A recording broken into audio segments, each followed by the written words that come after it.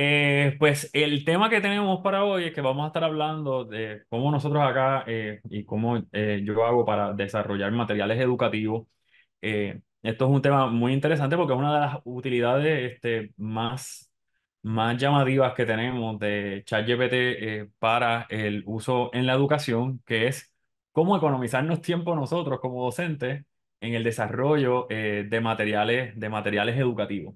Eh, la optimización de prompts para esto es sumamente importante, eh, principalmente, como dijo la doctora Pagán, para hacer uso ético de, de esta, de esta herramienta. Así que eh, es el estudiar la ingeniería de prompts, cómo nos comunicamos, ¿verdad? La ingeniería de prompts es cómo nos comunicamos con, con la máquina.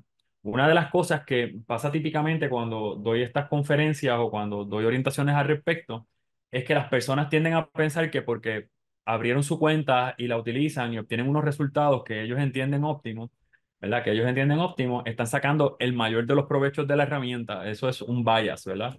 El bias es que si yo me monto en la bicicleta, pues yo soy ciclista, ¿verdad? No hay una diferencia entre correr bicicleta y ser un ciclista. Eh, eh, correr bicicleta es una destreza necesaria para ser un, un ciclista, pero no todo el mundo que corre bicicleta es ciclista, ¿verdad? Y en este caso, no todos los usuarios de, de estas herramientas de inteligencia artificial hacen uso óptimo. Para hacer uso óptimo, pues se necesita o, un entrenamiento y vamos a hablar este, un poco de eso en el día de hoy.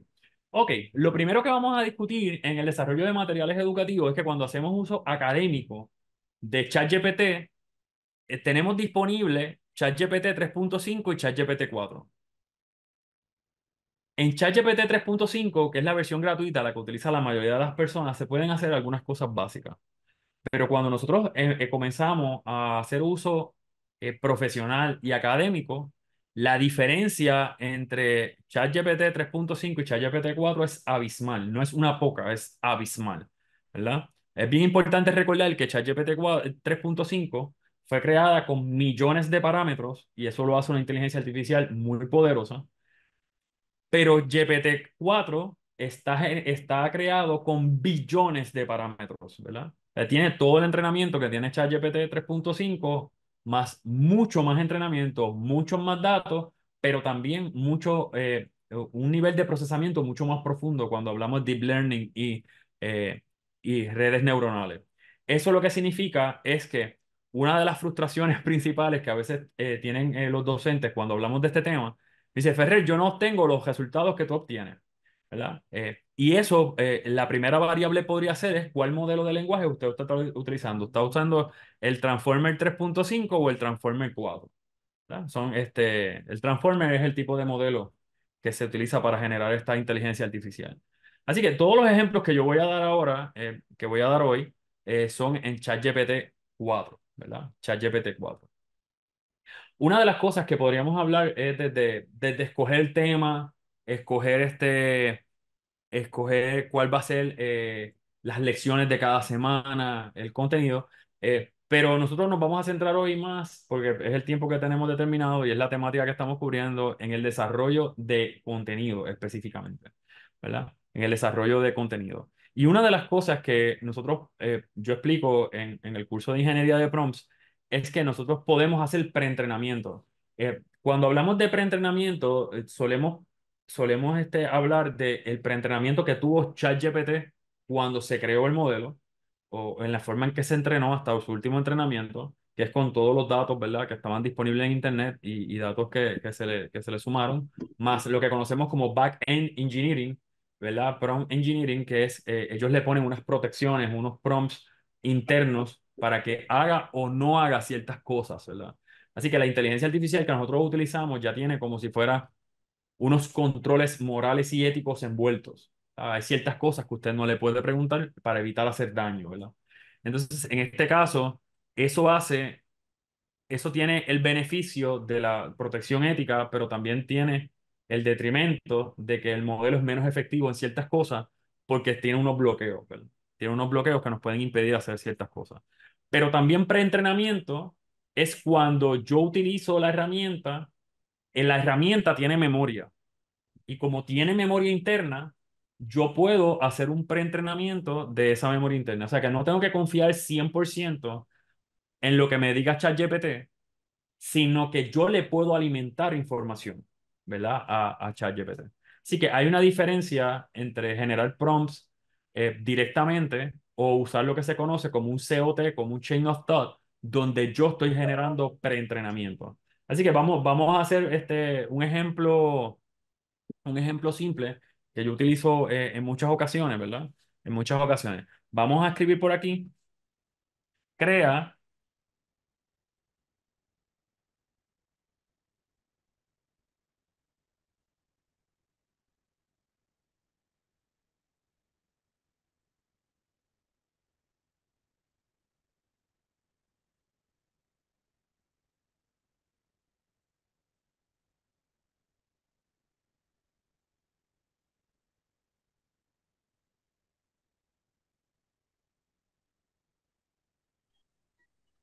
Vamos, estoy escribiendo bien rápido y voy a corregir los errores ya mismo.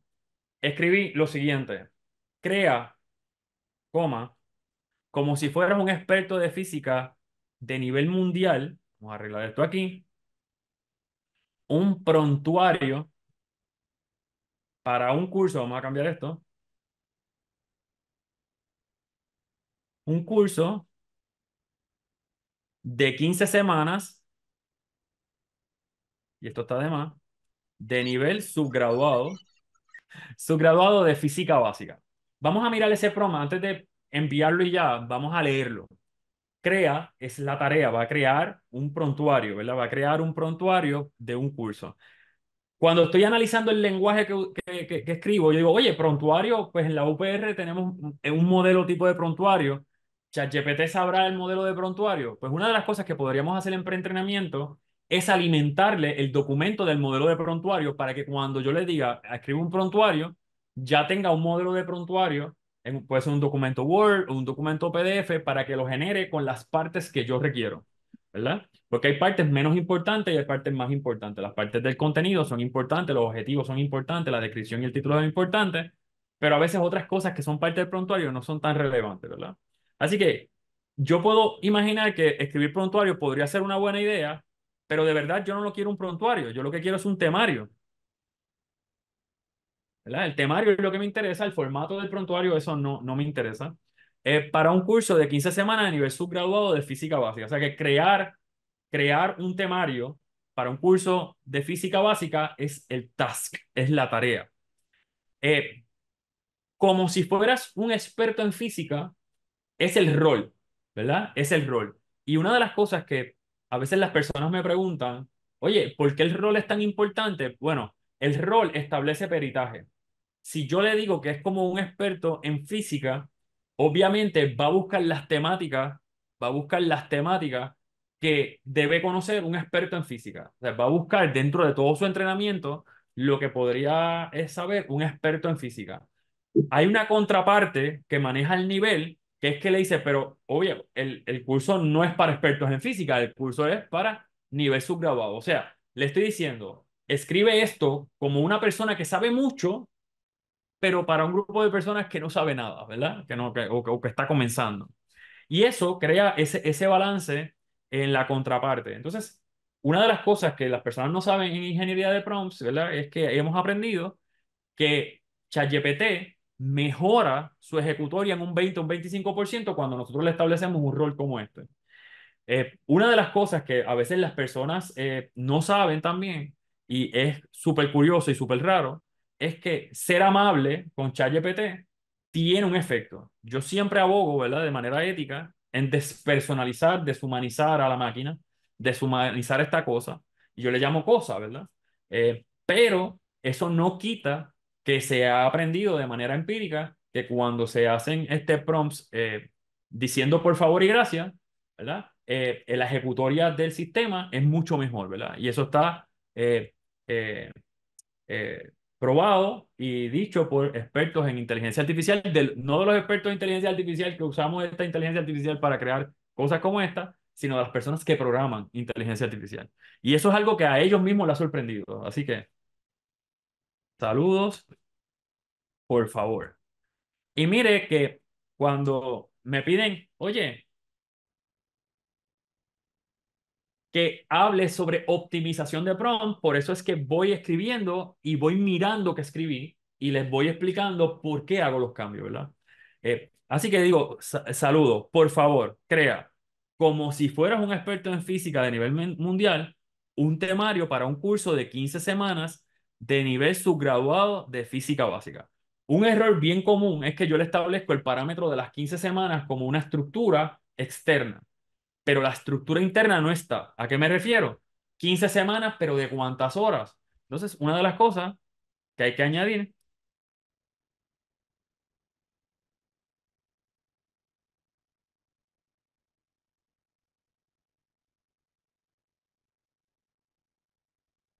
el curso tendrá una duración de 45 horas contacto. O sea, decir 15 semanas o decir 15 temas o decir 10 temas no es suficiente. Las 15 semanas establece cantidad. Establece la cantidad de tiempo, pero no establece el parámetro interno. Dentro de esas 15 semanas no vamos a estar estudiando 24 horas al día, estudiamos una cantidad de tiempo. Así que el curso tendrá una duración de 45 horas contacto. Establecer estos parámetros internos y parámetros externos dentro de la ingeniería de prompts eh, se utiliza mucho lo que son las cantidades, ¿verdad? Esto es lo que conocemos como cantidad o tiempo. También esto es cantidad o tiempo. Esto aquí es la parte de la cortesía, ¿verdad? Él crea un temario de física, es la tarea, como si fueras un experto en física a nivel mundial es el rol y nivel subgraduado, ¿verdad? Es una característica. Entonces digo, saludos, por favor crea como si fueras un experto en física de nivel mundial un temario eh, para un curso de 15 semanas de nivel subgraduado de física básica. Eh, el curso tendrá una duración de 45 horas contacto. Así que yo vengo, presiono y vamos a observar el resultado. Ok, vamos a ver, dice, claro, para un curso de física básica de nivel subgraduado de 15 semanas, 45 horas contacto, los estudiantes que a la compresión, ¿verdad? Miren, dice, tres horas en las lecciones, ¿verdad? Entonces, semana 1, introducción a la física, descripción general de la física y su importancia, magnitud de física y unidades de medida, análisis y dimensiones vectores. Semana 2, eh, cinemática de una dimensión, eh, movimiento, etcétera, etcétera, etcétera. Una de las cosas que yo explico en los cursos que doy es que desde el punto de vista ético y desde el punto de vista del peritaje, es sumamente importante que la persona que maneja este tipo de, información, pues debe ser un experto en contenido, un experto en el tema. Yo como docente, que no soy profesor de física, yo no puedo validar que la información que esté ahí esté correcta. Entonces eso me crea un conflicto ético. Yo tendría que mirar esto en el contexto de dárselo a un colega que sea un profesor de física o compararlo con otras fuentes como libros, revistas, prontuarios de, otras universidades para saber si estoy cubriendo la cantidad de temas o los temas que se recomienda en un curso de física básica, ¿verdad? Así que dice, cada semana, esto es ChatGPT bien conversador, ¿verdad? Yo no le pedí que me explicara esto, pero dice, cada semana puede incluir una teoría, ejercicios de clase, problemas para resolver como tarea. Es importante promover la discusión en clase, y el trabajo en equipo para resolver problemas. Me está dando consejos pedagógicos, ¿verdad? Más allá de este, el, tema, el tema que le pedí, ¿verdad? Una de las diferencias que puedo hablar, estos talleres nunca son iguales porque salen tantas tecnologías por ahí siempre. Una de las diferencias clásicas ahora entre ChatGPT 4 y Gemini es que Gemini está bien inclinado hacia los datos. Gemini es muy bueno para buscar datos, muy malo para hacer narrativos, ¿verdad? Gemini para buscar datos hace búsqueda de datos reales, busca en internet, lo aglomera y lo empieza a poner en bullets. Eh, eh ChatGPT es muy bueno para, para tener este tipo de interacción que es más una narrativa, como si fuera una conversación, como si fuera un chat, ¿verdad? Como si fuera un chat, como si fuera una conversación con una persona. Pero Gemini no, ¿verdad? Gemini es muy bueno para, para buscar datos. Dice, además se puede contemplar la realización eh, de experimentos simples o demostraciones para ilustrar conceptos clave, este, siempre adaptando los recursos disponibles. El temario busca equilibrar la teoría con la práctica, eh, preparando a los estudiantes para eh, eh, aplicar estos contenidos, ¿verdad? Así que a mí me parece muy interesante que se puedan hacer este tipo de, de, de, de prontuario. Entonces, ¿cómo es que comenzamos a desarrollar contenido? Una vez yo valido, que yo sé que ese es mi prontuario, quizás cambie algunos temas de orden. ¿verdad? En esta parte tengo varias recomendaciones que hacer. Si usted lo que va a crear es un video, vamos a hablar de contenido, de, de objetos de aprendizaje. Yo digo, oye, vamos a crear un, un, un video. Los videos no deben tener más de 5 o 7 minutos de duración, dos páginas ya es mucho contenido eh, para un video. Típicamente dos páginas generan 5 o 7 minutos de video eh, a espacio simple. Pues mi recomendación es que usted contemple cuánto contenido quiere, cuán extenso, cuán profundo quiere el contenido, versus la modalidad en la que lo va a presentar, cuál es la técnica que va a utilizar, si va a ser video aprendizaje o lo va a poner en un PDF, como si fuera un ebook, eso puede variar, ¿verdad? ¿Ok? Entonces, cuando yo hago esto, eh, cuando yo estoy trabajando con esta temática, hago una de dos cosas o tomo todos los temas a la vez de la semana 1, porque lo que quiero presentar es algún tipo de resumen, porque lo otro que va a hacer el estudiante es hacer una tarea o va a leer unas lecturas, va a tener unas lecturas eh, adicionales que no van a ser creadas por, por conmigo a través de la, de la inteligencia artificial, y no quiero que sea muy extenso. Pero si yo quiero lujo de detalle, posiblemente entonces me voy uno por uno. Y esa es la diferencia. Porque si yo coloco los tres me va a generar la misma cantidad de información típicamente que genera si yo coloco uno. Y eso, eso, eso es un dato curioso, ¿verdad? O sea que si yo quiero expandir y de verdad tener buen contenido extenso y profundo de cada semana de clase, la recomendación sería eh, coger los subtemas uno a uno. Sean creados por usted o sean creados por la inteligencia artificial. Me refiero eh, a cuando se los alimentamos, ¿verdad? El, temario pudo haber sido creado por usted. El temario puede ser un prontuario que ya usted tiene, que no lo puede cambiar. Y esos son los temas que se van a cubrir. Entonces usted no tiene que hacer esta parte, ¿verdad? No tiene que hacer esta parte. Entonces, para yo poder generar eh, contenido extenso, selecciono aquí. Y entonces tengo dos prompts diferentes que le puedo recomendar, ¿verdad? Y yo, eh, eso básicamente se me dificulta demostrar los dos de forma adecuada en la misma conversación y ustedes van a ver ahorita por qué, porque es que se vicia, el sistema se vicia por lo que hice anterior, porque recuerda lo que hice anterior, ¿verdad? Y no quiero eh, que malinterprete que podría generar un contenido que no necesariamente responda al prompt específicamente, porque quiero dar los dos ejemplos y hacer las dos cosas en la misma conversación de formas diferentes no conviene, ¿verdad? Conviene mantener el patrón con los mismos prompts para desarrollar todo el contenido. Una de las formas de hacerlo es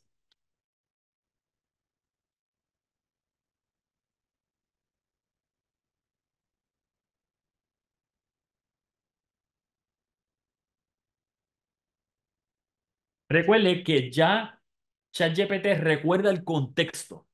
No se va a meter en otra temática del curso cuando esté desarrollando este tema porque sabe que los próximos pasos posiblemente sean desarrollar los otros temas y los otros temas están separados ya en el, en el temario anterior, ¿verdad? Usted no podría hacer eso en chats diferentes, porque si se va a chat diferente y pone este tema, posiblemente o se extienda demasiado y se, y se meta en otros temas que se van a cubrir luego, ¿verdad? Así que nosotros cuando preparamos un temario por lo regular, lo que hacemos es evitar meternos en otros temas eh, para, para concentrarnos y profundizar en el tema que estamos cubriendo. ¿Qué pasa? Que si ChatGPT no tiene el preentrenamiento de que en su propia conversación ya tienes los temas separados, podría meterse en, en otro de los temas. No lo va a hacer ahora porque está, ¿verdad? Tiene esa información. Y ahorita voy a hablar la diferencia, voy a tener que crear un chat nuevo para explicar la diferencia entre esto y un preentrenamiento, ¿verdad? Y yo coloco el tema que copié, descripción general de la física y su importancia. Y miren, que el PROM es simple, por favor, como experto en física, desarrolla este tema. ¿verdad? Y hemos descubierto que en ingeniería de PROM, cuando tú le escribes desarrolla este tema, solamente eso, pero en el contexto de que es un curso, el resultado es el que sigue.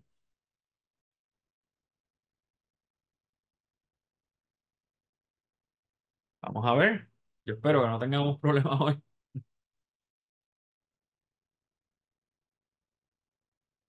Ok, la física en su esencia, y la, eh, y es, eh, en la física en su esencia es la ciencia que estudia los componentes fundamentales del universo, la fuerza, eh, que interactúa, ¿verdad? Entonces comienza a desarrollarlo de una forma bastante formal, porque yo no le di un tono, ¿verdad? Solamente le dije que era como un experto, así que va a escribir como un experto, ¿verdad? Es la, la, la, la tonalidad, la forma en que escribe es bastante impersonal, se escucha bien profesional, ¿verdad? Como si lo estuviera leyendo de un libro.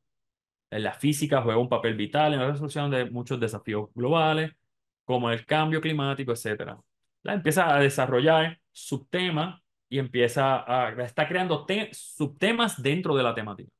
¿Ok? Esto es algo bien común de ChatGPT escribir conclusión, ¿verdad? Él separa la conclusión. Lo está creando como si fuera un ensayo académico. ¿Ok? Así que miramos esta forma, este lenguaje que utiliza aquí, versus este otro prompt que es diferente. Crea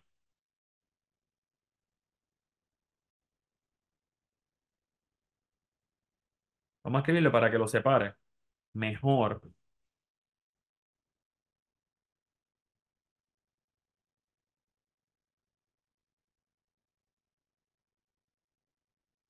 Ok, miren que le digo mejor.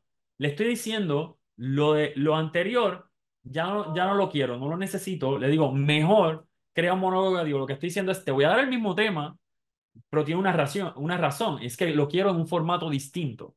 ¿verdad? El monólogo educativo es un tipo de formato. El monólogo, el monólogo eh, se ve como en primera persona, es como si estuvieras hablando con alguien, aunque no hay nadie ahí, ¿verdad? Es educativo porque estoy tratando de transmitir eh, información. Entonces, una de las cosas que puedo añadir en este prompt para optimizarlo. Vamos a cortar aquí donde dice sobre este tema. Vamos a buscar, crea un monólogo educativo usando ejemplos y analogías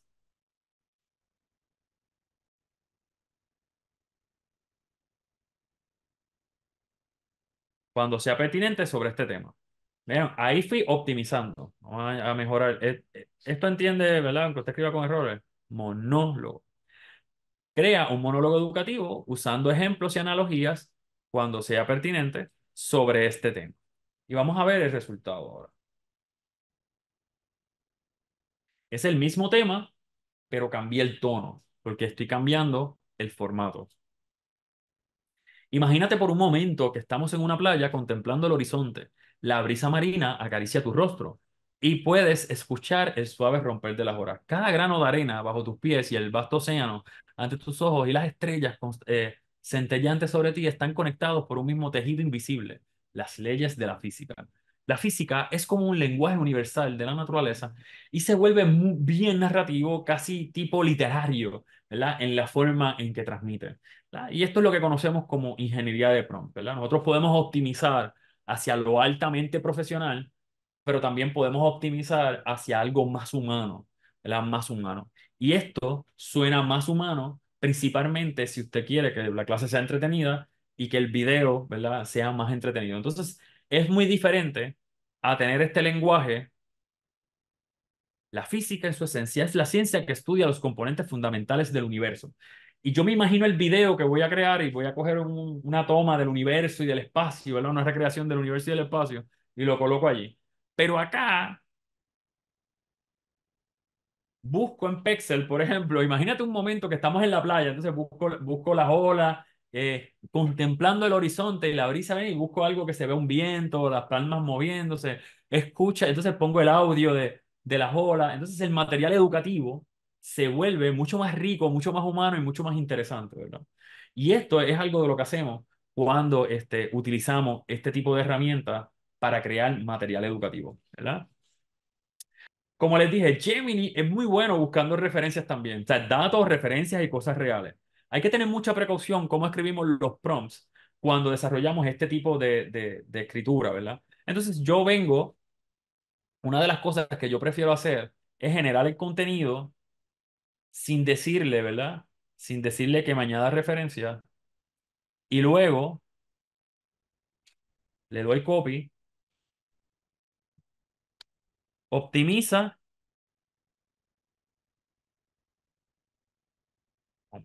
mejora este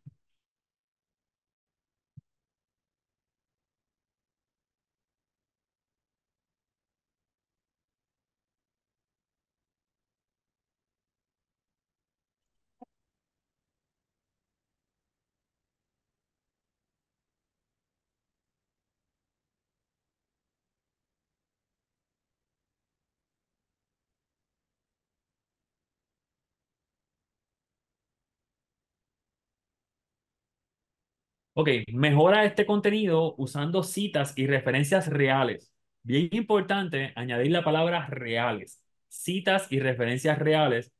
Puedes buscar en Internet y utilizar eh, tu entrenamiento. O sea, ahora ChatGPT 4 tiene acceso a través de Bing. Ahora, eso no quita que a veces se confunde, y lo dice así, se confunde, y de momento te dice, yo no tengo acceso a la Internet. Eso no es correcto. De hecho, yo lo regaño y le digo, no, eso no es correcto. A veces que eso lo puede hacer, ¿verdad? Eso lo puede hacer. Decir que no tiene acceso a la Internet porque en un entrenamiento previo no tenía acceso a Internet. Cuando añadieron el acceso a Internet, como que eso se quedó en un glitch ahí y nunca le quitaron el que no tenía acceso a Internet que esa era la contestación que iba a dar, ¿verdad? Así que eso, así es que me lo imagino yo. En este caso, si tiene acceso a Internet, utiliza Bing, que no es una inteligencia artificial, sino que la inteligencia artificial accede a Internet y hace la búsqueda. Eh, usa referencias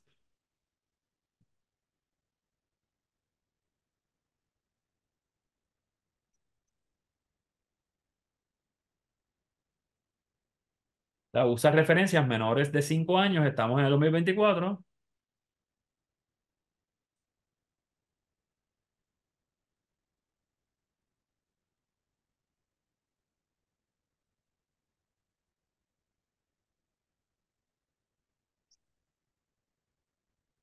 y pego todo el contenido. Voy a leer el prompt de nuevo. Mejora este contenido usando citas y referencias reales. Puedes buscar en Internet y utilizar tu entrenamiento. Usa referencias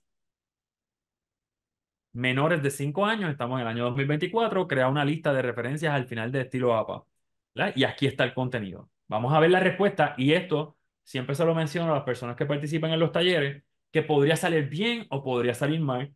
Lo que hacemos si sale mal es que insistimos, ¿verdad? insistimos. Y ahí es que viene el chain of thought, la cadena de pensamiento, ¿verdad? El, el, chain of thought es lo que nos permite mantener la conversación y desarrollarlo. Así que ahí comienza a escribirlo de nuevo, ¿verdad? Le estoy pidiendo que me eh, coloque citas y referencias. Eh, ahí me generó un enlace, ¿verdad? No sé a dónde generó el enlace, lo revisamos ya mismo, no quiero detener el procedimiento. Ese, esta, esto de aquí es el enlace. Esos enlaces a veces pueden ser eh, eh, que están funcionales o pueden ser viejos y de momento no funcionan por alguna razón. De momento, miren, comenzó a escribir sobre la UNESCO. No recuerdo que en el escrito anterior, aunque lo que hice fue un swap visual, no mire este, eso específicamente. Habla de la cumbre del milenio de las Naciones Unidas.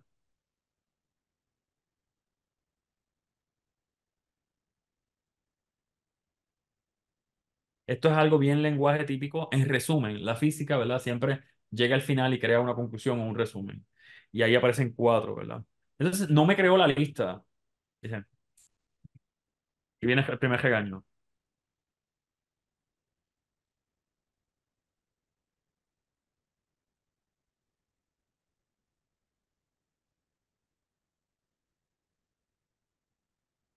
No creaste la lista de referencias utilizadas. Vamos a ver qué hace con ese prompt. Tiene un error gramatical, pero...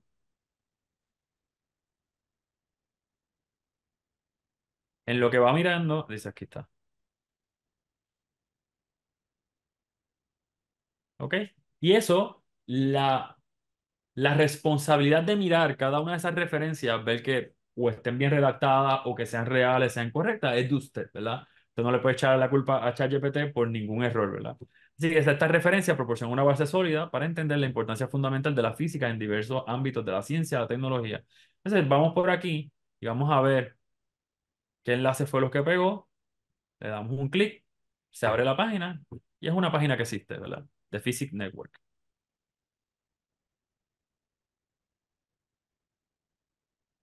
Vamos acá.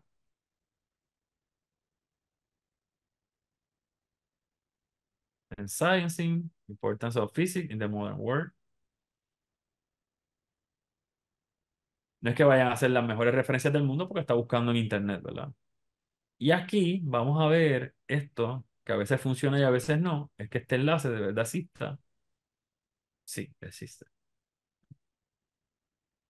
Así que vemos que busca en diversas fuentes y esto le puede economizar algún tiempo. Esto no quita que usted debería revisar revistas profesionales, debería revisar libros, pero si necesita alguna referencia de internet, pues esto le economiza algún tiempo. Eh, cuidando si nos cumplió con la fecha, pues 2018 es bastante reciente.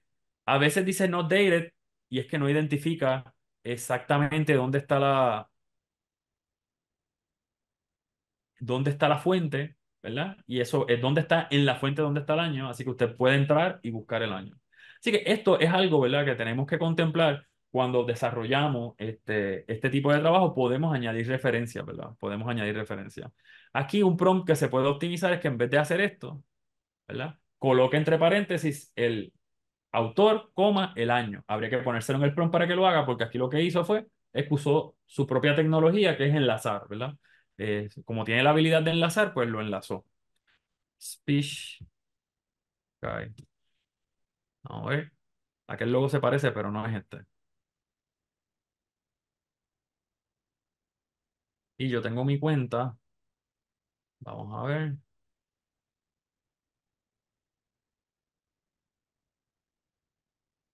Y ya estoy en mi cuenta.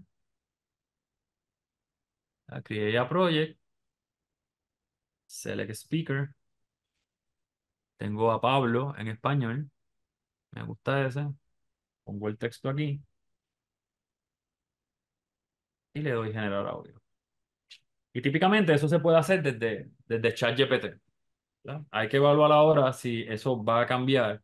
En lo que ese se genera aquí, voy mirando lo que está haciendo acá. Ese no es, es este. Eh, pues miren, quiero volver ahorita a intentarlo, a ver si es que estoy dejando algo eh, que no estoy viendo hoy, porque esta plataforma a veces la actualizan y la cambian, pero se supone que tenemos acceso a los plugins. Si no lo han cambiado, los plugins eh, tiene lo que se llama Scholar y Scholar AI este, tiene base de datos de revistas científicas. Es, es un sistema de base de datos científico amarrado a ChatGPT con ese bridge, esa conexión que es un plugin. Este, ChatGPT no tiene acceso a esos papers a menos que se le coloque ese plugin. Esos plugins a veces son gratuitos y a veces son de paga. Y ahorita voy a, voy a mostrar eso cuando llegue ese tema voy a mostrar eso de nuevo cuando voy a dar hacia atrás. Quiero mostrar el audio. Les estoy diciendo que el AI Voicer lo estoy usando por primera vez. Eso no está, no está en los plugins, está en los GPTs, ¿verdad? Así que le voy a dar ahí. Fíjate por un momento que estamos en una playa, contemplando el horizonte. La brisa marina acaricia tu rostro y puedes escuchar el suave rock. Antes de seguir dándole play, ¿lo escucharon?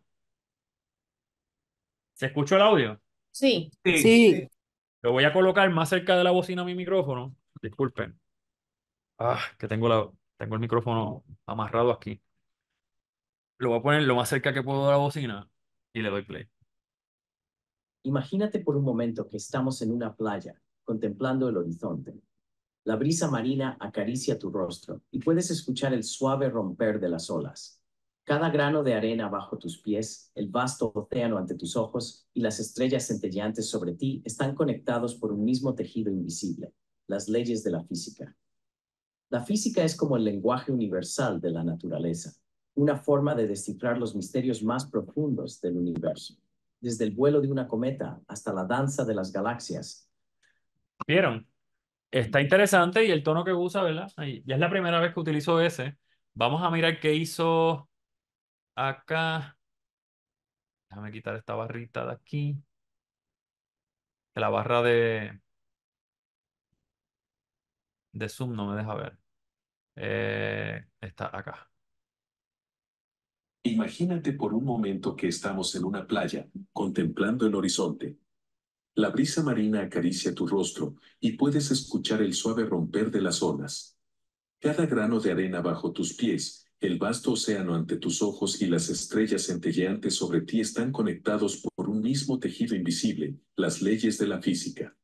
La física es como el lenguaje universal de la naturaleza. O sea, cuando estamos demostrando lo que son las capacidades de la inteligencia artificial hoy día para generar materiales educativos, que es lo que estamos haciendo hoy, materiales educativos, están viendo la velocidad, ¿verdad? A la que se pueden hacer las cosas y partiendo de la premisa de que el que genera es experto en el tema, puede hacer una revisión rápida de lo que se escribió y saber si está correcto o incorrecto, corregir lo que entiende que está incorrecto o validarlo, ¿verdad? Porque quizás ChatGPT da una información que usted no conocía. Yo dije, oye, esto es un dato, yo debería buscar si ese dato es real.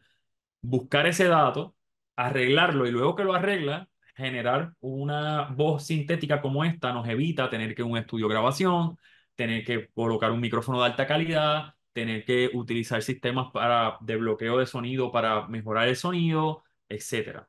Entonces, eh, esto nos economiza muchísimo tiempo eh, en, esa, en ese sentido para la generación de material educativo.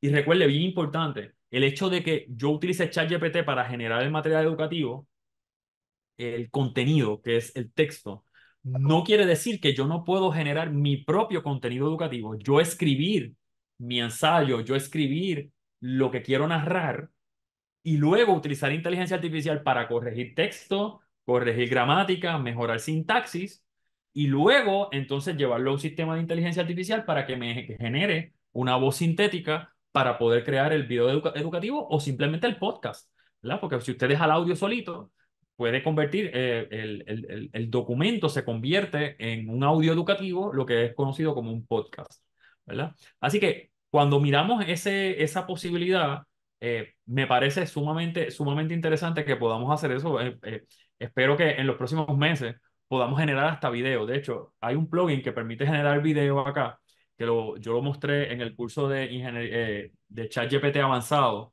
eh, pero si no tengo acceso al plugin, ahora me salió el logo correcto aquí abajo. Vamos a ver si esta es mi cuenta correcta y yo le doy aquí refresh. Que no sea que aquello que se estaba bloqueando era que estaba fallando. No. Y vengo aquí abajo a mirar Estos son GPTs.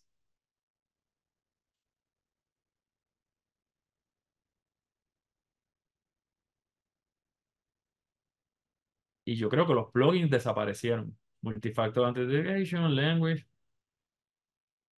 Esto es nuevo. Ah, aquí están. Dice try version GPT that knows uh, third party plugins. Está encendido. Aún así, no los veo.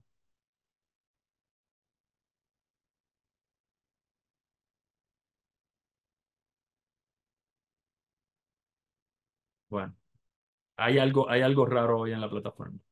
Está bien. Bueno, pues ya vieron que puedo generar el texto, puedo generar esta imagen. En algún momento me hicieron una pregunta que tenía que ver ¿Cuál fue, cuál fue el Recuérdame de nuevo que yo dije que lo iba a demostrar más adelante. Ah, preentrenamiento.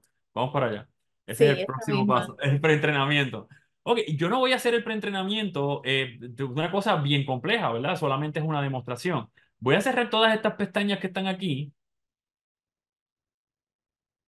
Y esto es, esto es un ejemplo típico, ¿verdad? Yo, imagínense que yo quiero buscar eh, Scholar Vamos a buscar Google Scholar y quiero buscar este, información sobre eh, inteligencia artificial.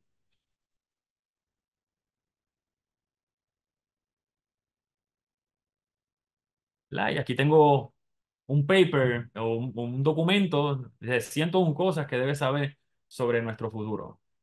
Y aquí es que la parte ética, ¿verdad? La parte ética, hay que tener cuidado cómo hacemos esto. Esto es solamente una demostración. Yo no estoy diciendo que esto sea correcto lo que voy a hacer ahora, pero es para cuestiones de demostrar. Yo vengo esto, le doy aquí download, vamos a ver si ese documento baja, lo voy a bajar a mi desktop y lo tengo en mi desktop. Imaginen que yo estoy, eh, y estoy acumulando una cantidad de papers, este, un libro no, no voy a bajar un libro completo, Estoy bajando un grupo de papers de algo bien reciente, que son como 10 o 20 papers sobre la misma temática, y los voy acumulando en un folder. Vamos a ver si no todos creo que tengan acceso a que sea gratuito, pero parece que sí. He tenido suerte. Ya descargué el segundo. Yo creo que con dos podemos, con dos podemos hacer el ejemplo. ¿Qué es el preentrenamiento? Imagínense que son 20 papers. Yo tengo 20 papers. Tengo este aquí y se lo alimento. Eso yo no lo podía hacer antes. Eso se puede hacer ahora. y es con ChatGPT 4. No se puede hacer con ChatGPT 3. Déjeme quitar esto del medio para ver el otro que tengo aquí. Y tengo este otro.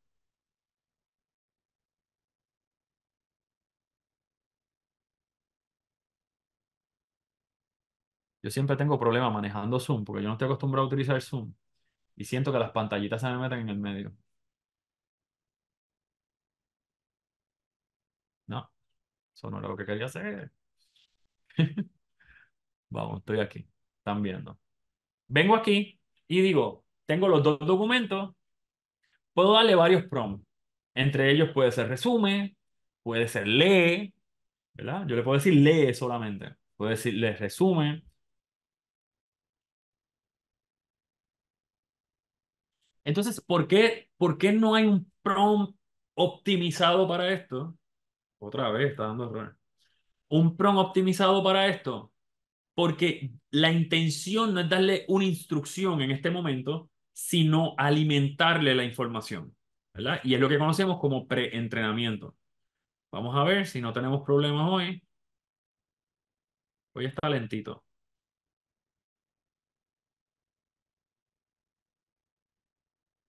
Ahí está.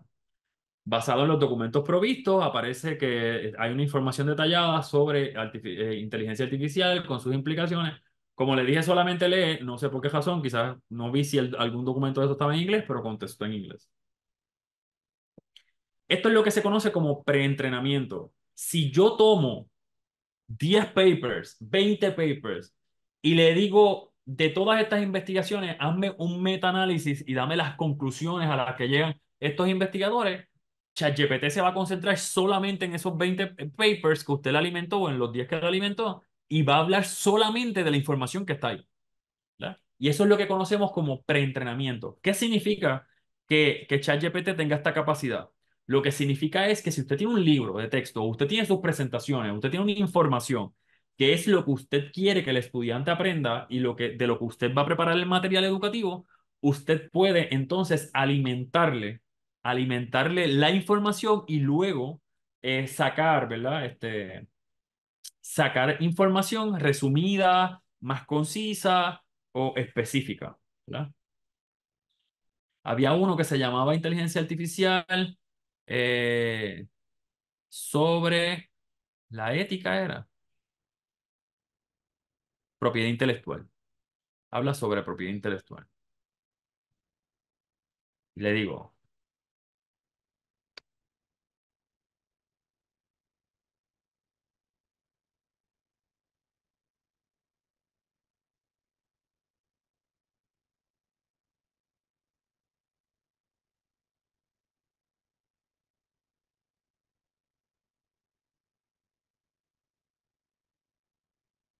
Usando la información en estos documentos, resume lo más importante sobre propiedad intelectual y la IA.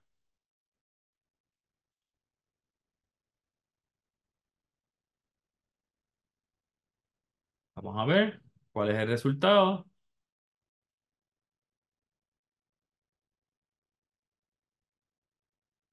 En lo que se va dando el resultado, si veo más escritos en el chat, si tiene alguna pregunta adicional. Me pregunta Milka Vigo por aquí, ¿cuál es la diferencia entre GPTs y plugins? Pues mira, eso es lo que se estaba eh, eh, vislumbrando eh, recientemente. Los plugins son programas creados por, por terceros, ¿verdad?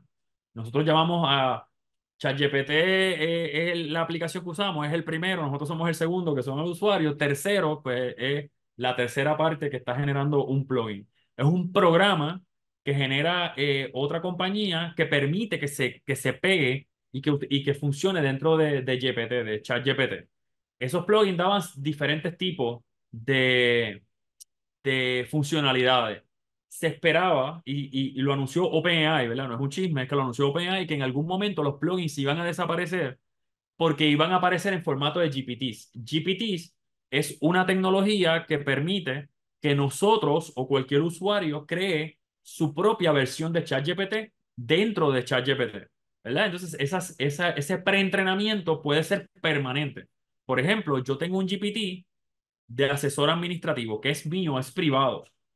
Y yo le alimento todas las reglas, todas las certificaciones, todos los documentos que yo necesite de la administración. ¿verdad? Por eso le puse el perrito ahí. De la administración de la UPR y del Colegio Mayagüez. Eso está privado en mi cuenta, solamente para mi cuenta y solamente lo puedo utilizar yo. ¿Qué significa? Que cuando yo hago una pregunta sobre una certificación, eso va directamente a la base de datos, no tengo que estar buscando la certificación. Este GPT me dice qué certificación está, qué es lo que dice, cuál es la interpretación que se le puede dar, etcétera, ¿verdad? Aquí creé otro que es para modelar en 3D Scan, ¿verdad? crear este, piezas 3D. Tengo también un maestro Lean Sigma para mi, cuando estoy desarrollando propuestas o administración de proyectos. Y tengo uno que tiene reglas de eh, diseño instruccional documentos completos sobre la taxonomía de Bloom, qué es este Norman Webb y los, los, eh, los niveles de pensamiento, y eso me ayuda a mejorar el GPT de una forma especializada para mí. El único que tengo público es este. Creo que no me acuerdo si este está público, pero todos los demás son de uso privado. ¿Okay? Eso es un GPT. Y yo entiendo que, este, que GPT, que los GPT van a suplantar los plugins y parece que ya pasó. Porque no lo encuentro ahí. ¿Está bien? Los eh, plugins están disponibles en ChatGPT 3, pues no estaban. Si tú entras aquí, no tienes disponible dónde cogerlo. Y este, así que yo entiendo que están disponibles solamente en el 4, pero ahora veo que en el 4 tampoco. ¿Verdad? Está eh, ChatGPT 4 tiene DALI, tiene browsing, que es buscar en internet, y análisis. Y tiene un límite de 40 mensajes por hora. ¿Está bien? Eso no lo tiene el 3. Eh, creo que ahí expliqué esa diferencia. Entonces, estábamos viendo este resultado, antes de seguir con las preguntas, estaba viendo este resultado. ¿Dónde se me fue? Me perdió. Ah, yo le pedí que me diera, ¿verdad? Los eh, derechos de autor, ¿verdad? Sobre el documento de inteligencia artificial y propiedad intelectual, eh, explora la revolución provocada por la IA y comienza a darme los puntos más importantes de todo ese documento. Todo lo que está escribiendo aquí está basado en ese documento. No está haciendo búsqueda en la internet como tal. Está usando ese documento. Esa es la ventaja de utilizar preentrenamiento. Es que yo le puedo alimentar una información anticipada para poder generar el contenido ¿verdad? que yo quiero o de mayor calidad o más específico este, todas las inteligencias artificiales son altamente creativas, pero muy malas para replicar exactamente cosas reales, ¿verdad? Este, sí, eh, eh, ChatGPT puede generar imágenes, ¿verdad? Vamos a crear un GPT nuevo. Vamos a hablar un poco sobre las imágenes para quizás darte una idea. Eh, crea una imagen de, de un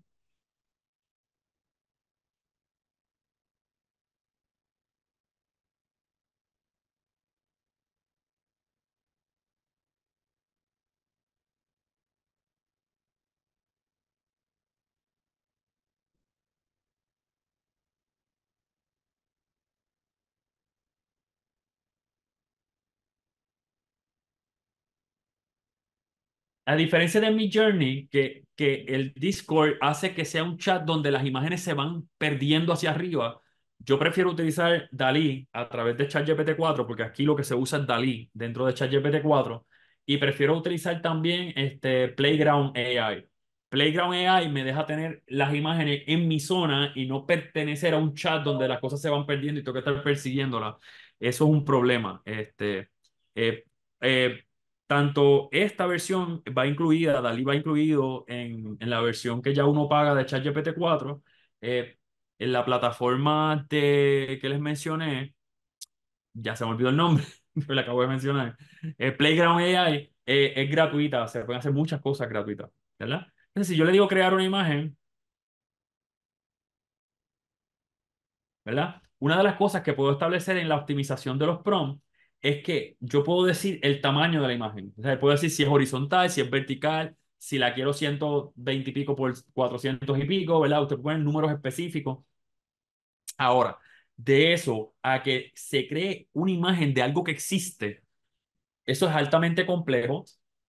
Se puede hacer y casi siempre las personas que logran mantener un personaje, crear un personaje y mantener el personaje, o crear un ambiente y mantener el ambiente con cambios diminutos, este, se conoce como eh, Stable Diffusion, es mucho mejor para eso, ¿verdad?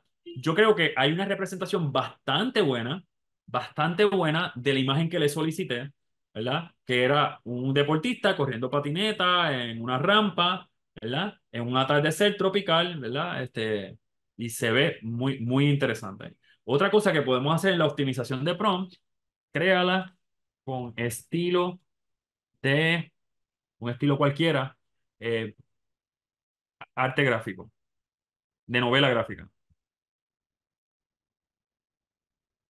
Entonces aquí la optimización de prompts, por ejemplo, para crear imágenes educativas, para video, para eh, ebooks, este tipo de cosas, esto ayuda muchísimo, pero no le va a funcionar, por ejemplo, si yo creo, quiero crear una célula con todas sus partes identificadas, pues usted tendría que intentarlo muchas veces para lograr algo que de verdad se pueda utilizar.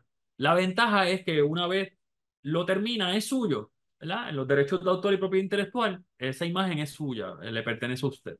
¿verdad? Miren, es la misma, la, misma idea, pero se ve completamente diferente. Sigue siendo un atardecer en un lugar tropical, en una rampa de patinete, con ¿verdad? la persona de patineta, pero está creada con el estilo de novela gráfica. O sea que las líneas negras son bien predominantes versus este tipo de líneas. ¿Verdad? Que yo puedo cambiar el estilo, el estilo de la, de la, de la imagen que se crea. Así que eh, una de las cosas que pocas personas saben es que yo puedo ver el prompt con el que se creó esa imagen y también, ¿verdad? Porque el prompt lo optimiza. Dalí optimiza el prompt. Miren aquí el prompt, mucho más extenso de lo que yo escribí. Se optimiza. La inteligencia artificial mejora lo que usted pidió. ¿verdad? Mejora lo que usted pidió para poder comunicarse mejor con Dalí. Pero no solamente eso, si yo quisiera mantener este estilo, le puedo decir